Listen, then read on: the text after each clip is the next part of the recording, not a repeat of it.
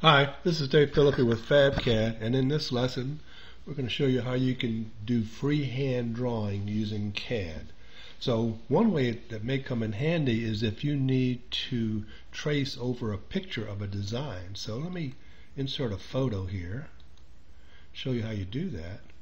So I'm going to take a image from our home page and open that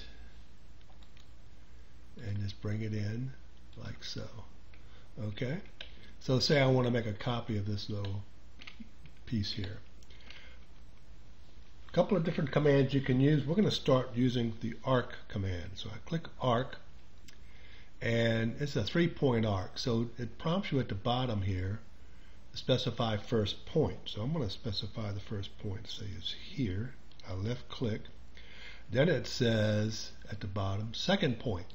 Well, the second point, I'm going to use a photo to guide me with this. I'm going to put second point there, and then third point, and I will just put it, say, here. Now you notice one thing, the lines are black, so why don't we switch that over to a different color so we can see what I'm doing. So let's, well, you just type color at the command line. And then I'm going to just pick red so it shows up and click OK. So now I'm going to draw an arc again and I'm going to start start here and go here. Now you see the red it shows up better and then left click there. And then I'll right click to repeat the command and right click to pick up where I left off. Oops. And I will draw to drag this thing around. See how it follows along there? Right click, right click, right click, right click. Okay, so you can use this to uh, for tracing. You can also, you know, you're doing your own freehand design, like if you want to do a gate top. So let me just draw a line here real quick. Um, let's make this uh, 70 and make this uh, 96. And let's make this 80. All right, I'll move the photograph over. So I could do a arc again to make a swooping gate. So I can do arc from the, let me snap, put the endpoint on here. Go from here, take off ortho. When you do freehand, a lot of times you don't want ortho or the snaps depending on what you're working on. And then I'm just going to pick a second point here. I'm going to have to guess at that. And then click, right click to repeat the command, right click to pick up where I left off, and then I can drop that in there like that. Now if I want it to be level, I can just click on these two pieces right here and light up these grips and let me put ortho on so I do it straight and I can just drag this up till it's level so it looks like that.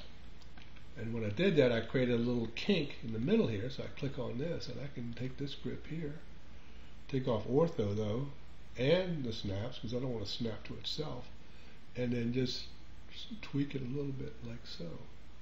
So one thing about it is when you click on these grips, they turn red. It's like simulating forging. Okay, that cool? All right, and then you can just you can play around and do stuff like that. Now arcs are one way of doing freehand, you know, design like this. You also have a command called polyline. So for instance, for drawing scrolls, I could do a polyline starts off in straight line segments. And I could do that in the shape of a scroll, like this. And then double click on this.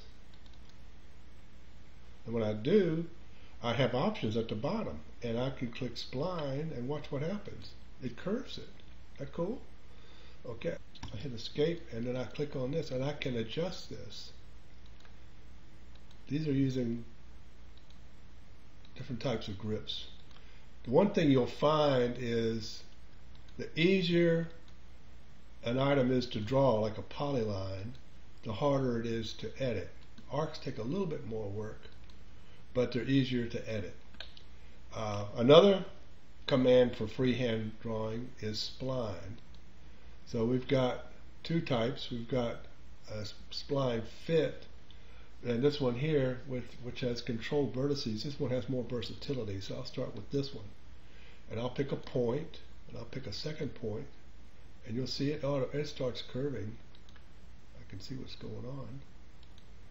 I'll just bring this around.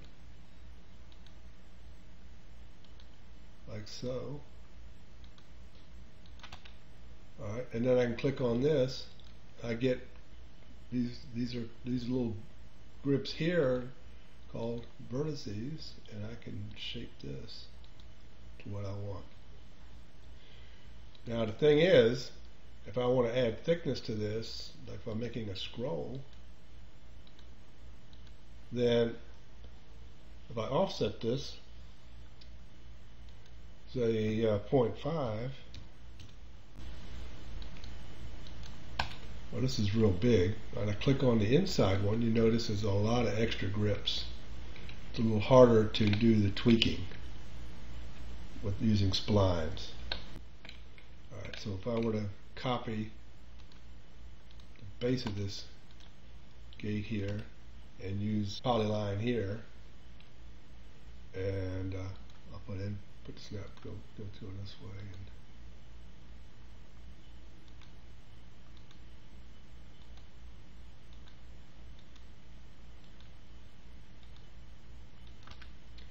and then double click on that.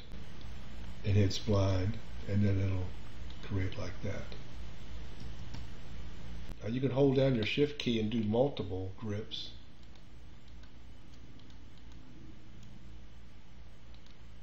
and it'll light up sections of it like that. And then you can modify that way.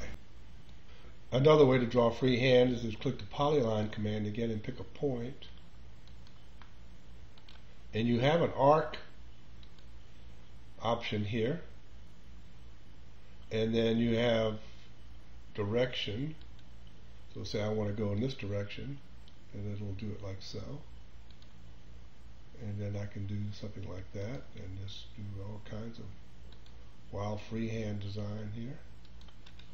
Alright, another thing I can do is with the polyline arc, I can click on polyline, pick a point, I pick arc, and I also pick width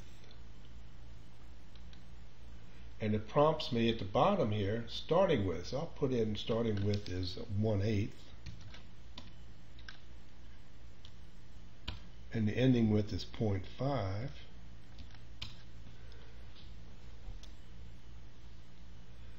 and you'll notice there's a taper. Okay? And you can also see how the thing is going to look on the curve previews it and I can just whip this thing on around. That cool? Just like that.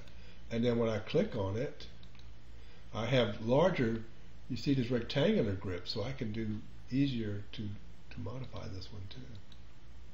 I'm going to take the snaps off because it snaps to itself. So let me just, I can tweak it like so, and I click on this. Okay? And you've got the arc like that. You can use the stretch command also to tweak these things. You do something like this. Okay? Pretty cool.